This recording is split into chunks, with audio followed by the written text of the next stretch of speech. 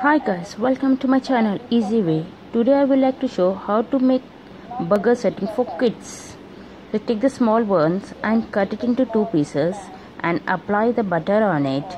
Take the butter which you like it and and then apply the ketchup on it. Only because kids love ketchup. And then you can cut the cucumber into the circle shapes and because the buns are small keep the small cucumber on each top of it.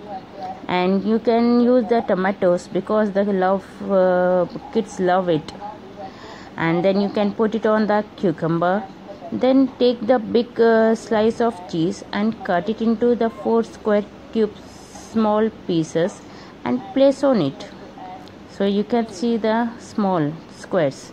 Then here other side you have to fry the patties of the burger okay till it turned into the brown in color.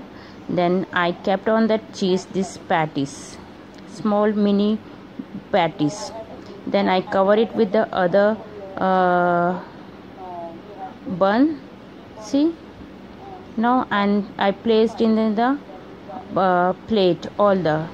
And then now see I am taking the toothpick not to move the burger while having kids are having. So i put it in the center. So it the grip is there. When the kids are having it should not be fall down so i hope you like it. Please share and subscribe my channel easy way. Thanks for watching